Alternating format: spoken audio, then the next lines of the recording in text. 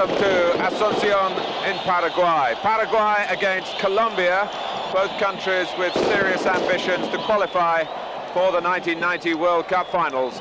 Only one team can go through, though, from this group two, the winners of the group, and they'll face the winners of the Oceania section, that's Israel, in a playoff home and away. So it's a, a long road ahead, and this is a crucial game for both these nations.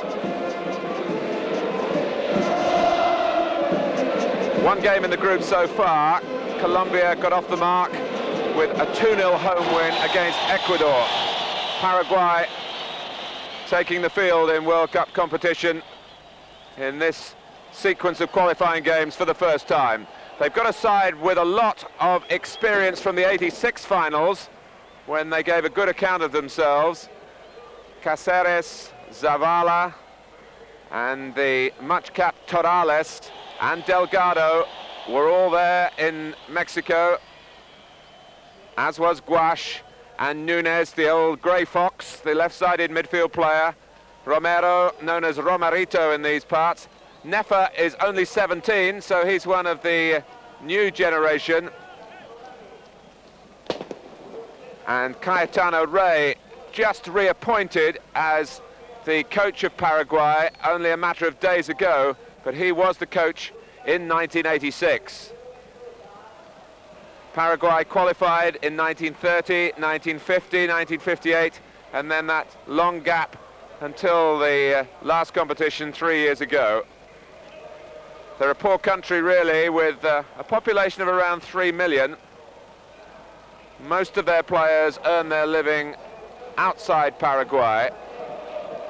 And amongst the substitutes. Fernandez was a goalkeeper in 86, as was Ferreira, a fine attacking player down the left side, but he's only a substitute in this particular selection.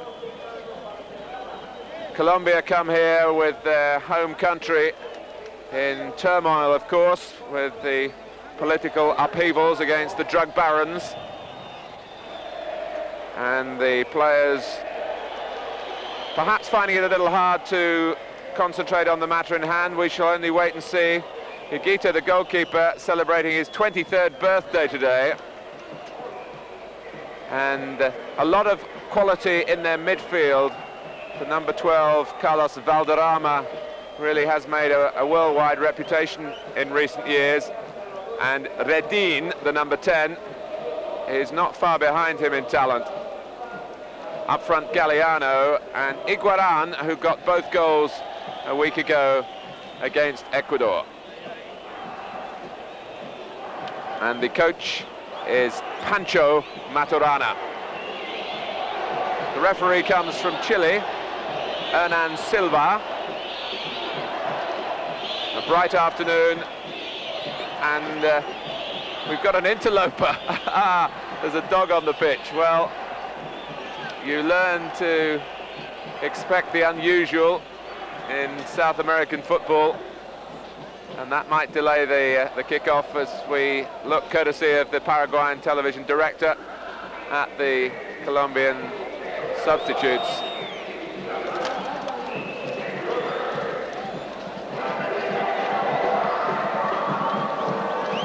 Now these teams met recently in the Copa America, the South American Cup when Paraguay did particularly well in the first phase and qualified for the latter stages. And they beat Colombia 1-0 in the first group games with a goal from Mendoza. All the officials from Chile. So it's going to be Colombia to kick off and Valderrama with that pullet-like hairstyle. I'm not sure who came first, really. But Carlos Valderrama doesn't need hair of that distinctive nature to be noticed on the pitch. Neffa will wear number 9, Mendoza at number 11. That's a, change from the uh, list we were originally given. Not a change in personnel, just a change in numbers, and Colombia have done the same as the game goes underway. Galeano and Hoyos have been given different numbers from the what we thought to be official list, but the match has started and the Paraguayans will really need to make the most of home advantage. All the speculation around the game is that Colombia will mass their midfield and just look to play a little on the break, and they can do that with the range of passing that Valderrama has and Redin as well. Nunez. One of the Paraguayans who plays his league football in Colombia, and uh, although the game has begun, the dog wants to join in. And this is quite extraordinary. The stadium so well policed against some uh, two-footed invaders, or the threat of that. And our four-legged friend has got on again. now, who's going to be brave enough here? You're never quite sure with stray dogs, are you? With uh, a risk of rabies if the animal isn't quite as friendly as it might look. Well, the referee unabashed. And Nunez trying to get an early grip, really, in midfield for Paraguay. The header there from Zavala. There's some fairly tough defenders Paraguay can call upon, notably Delgado, who earns his living in Argentina. With Independiente, there he is. With uh, a timely tackle in terms of uh, the point I was about to make, but not so timely as far as Galeano was concerned. And now we are going to have to rid the pitch of the intruder. Well, we'll learn a little bit about the characters of one or two individual players here. Everyone saying, after you, Claude. Or after you, Carlos, should we say. Higuita's got the gloves. Now, that should give him a bit of protection. The animal hasn't actually revealed which side it would like to play on. But it hasn't shown either any reluctance to depart. The crowd quite patient. well, that's uh, Ramon Hicks, the Paraguayan with the English name, and the English father as well. Well, that's uh, not going to ingratiate the players to the animal rights followers. Throwing the ball and one or two other objects at the dog that shows every sign of being a big-time performer here. Now Delgado's going across. Now that would frighten quite a lot of opponents of his. And yes, Rogelio Delgado is shepherding the dog towards the exit. He's popped back out again. And Delgado's going to make another tackle. Well, it's somewhat softened the mood, which, with these games been played over such a short time, the importance is almost magnified, and there is always the risk of tension spilling over to some bad behaviour on the pitch, but I think that's softened things a little, at least for the moment. The clearance from Perea. Nunez with a throw. Paraguay lining up with Neffa up front with Hicks.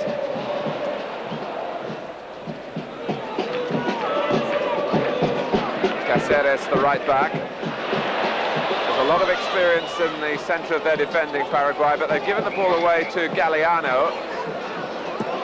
And then Iguaran, who can be so dangerous as Ecuador found out a week ago, even at the age of 32.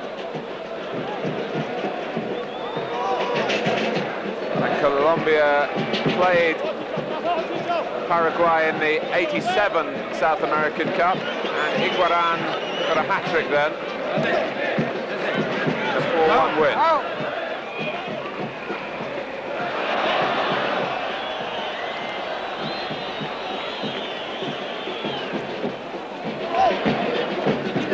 Here's Hicks, one of ten children from the English father.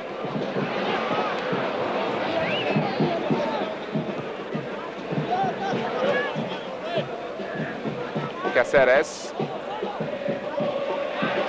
Nicely down by Hicks. But the cross is, oh, an awkward one for the goalkeeper, Higuita, coming on the bounce. Hicks went to play in Spain after the 86 World Cup finals. When Paraguay reached the last 16,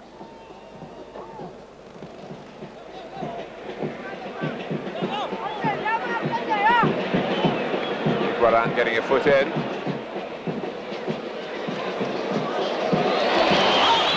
One back by Mendoza.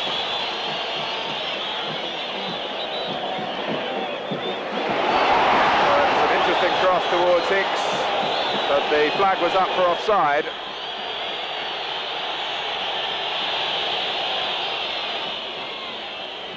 The Paraguay style under Cayetano Rey in the past.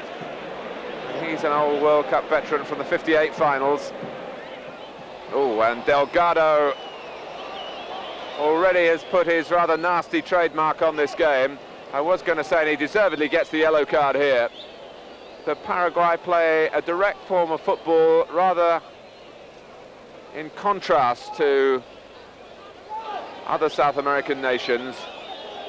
And uh, that was a very cynical piece of play by Delgado.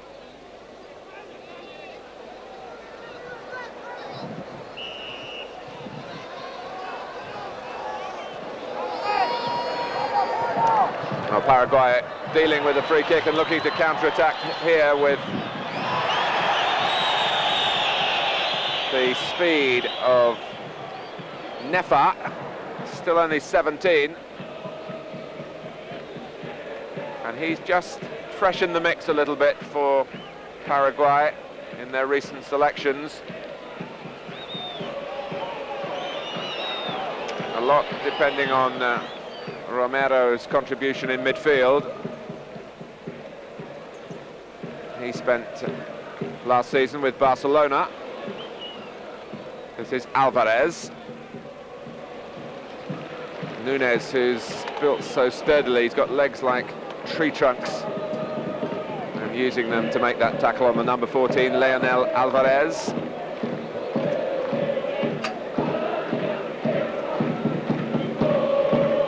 Valderrama. Alvarez, Valderrama couldn't control as the header came his way. And it's Hoyos, the left back, who stepped in.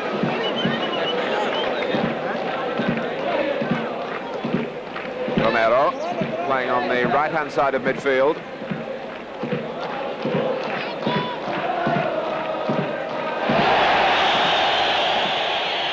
Well, that was uh, Wilson Perez. Well, Delgado got a card, but the referee shows nothing to the Colombia right back. And it was a fairly violent challenge.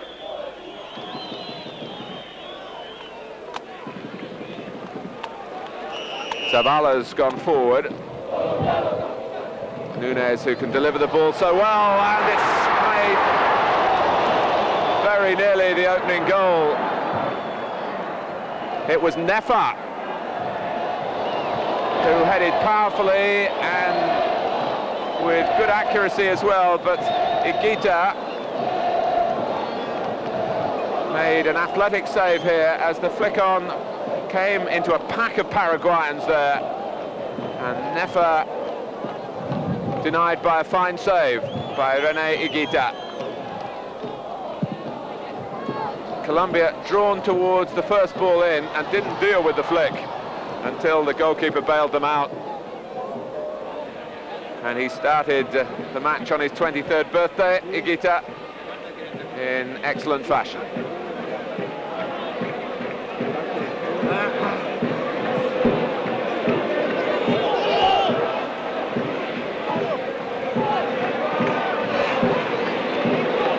Neffa letting it run. And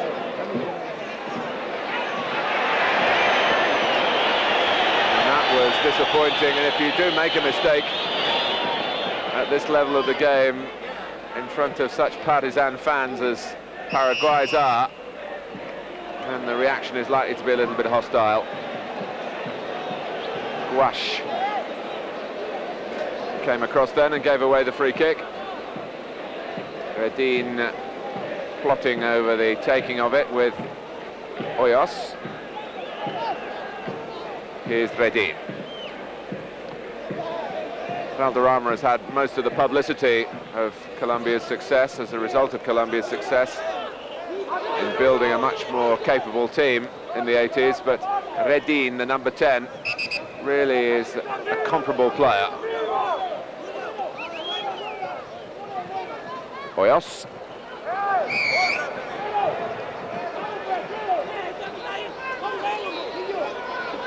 Free kick given against Iguaran. Chilavert, the goalkeeper, plays his football in Spain with Zaragoza. He didn't take part in the Copa America, but they've got him back for the uh, World Cup qualifiers.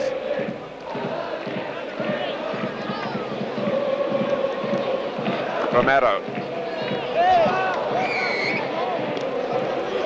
A former South American Footballer of the Year, Julio Romero, Romerito.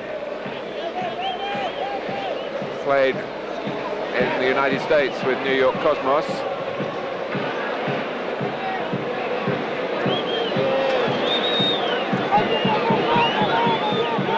But every time Romerito plays for Paraguay, the expectations on him are huge. Hoyos Either side really taken a firm grip yet on the game, although Paraguay have made the one opening for Neffa's header. Valderrama almost leisurely keeping the ball then until Hicks fouled him. He's something of a strolling player. He's been in France with Montpellier and they've likened him there to a Colombian Platini high praise. Iguaran um, battling away and pressing Delgado. Iguaran, the number 16. And it was a, a decision that went Paraguay's way. A push by Iguaran on the bearded Delgado.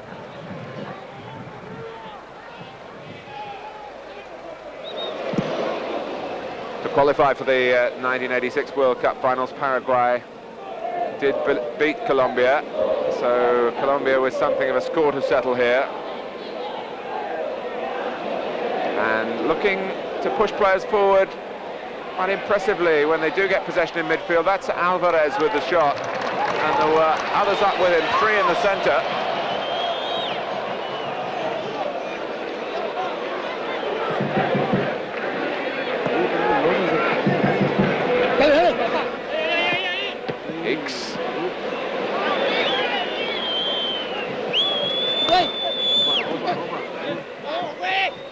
Run back by Paraguay. With Romero getting the tackle in, and now the right back, Virginio Caceres with a throw. The surface isn't the truest that you would expect to find at this level of the game, although South American players usually so adept at controlling the ball, but just as we say that, Paraguay give it away. With Galeano waiting in the centre, it was good judgment by Chilavert to come and claim the cross. The bounce is a little awkward, the bobbles will be difficult to control.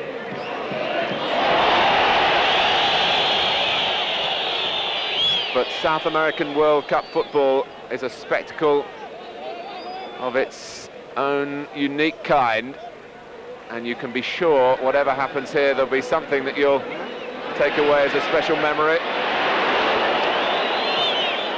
It might be a, great goal, a, a, clever piece of ball juggling on a difficult surface or a, a display of petulance above and beyond what's often on view for the European viewer and spectator.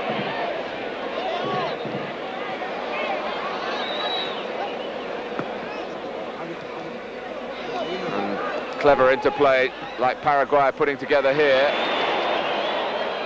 But Valderrama finding space and the ball attracted to him as though he was the magnet. Here he is again.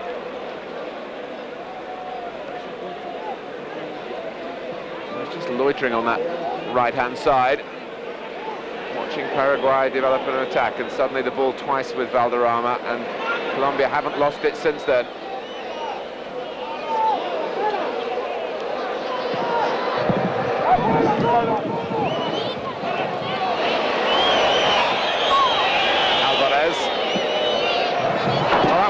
effort.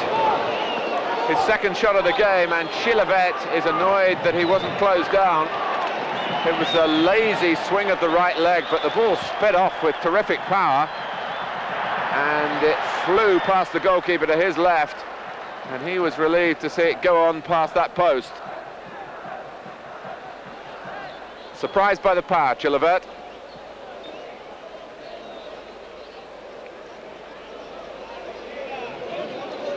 Goalkeeper was covering that side of the goal too, and yet he still wasn't able to make a save. Came to him just on the bounce. That replay uh, from the camera on the 18-yard line. Just uh, showing perhaps why Chilavert was getting extra problems with the shot, but it was a good effort from Leonel Alvarez, 24-year-old midfield player. Debut in 1987 for Colombia. And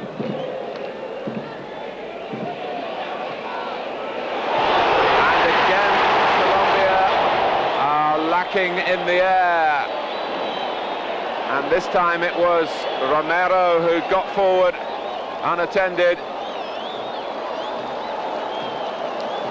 Colombia hoping for offside, but it wasn't forthcoming.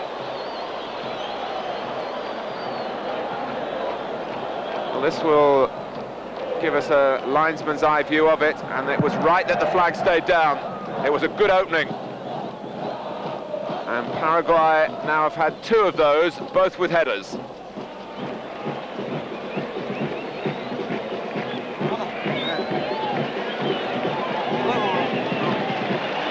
Wilson Perez with the tackle.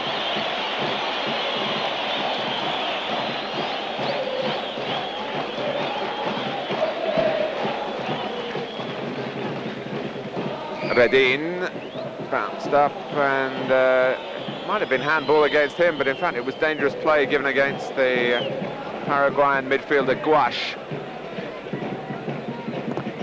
Hoyos wanting too long and then having to redeem himself with a foul.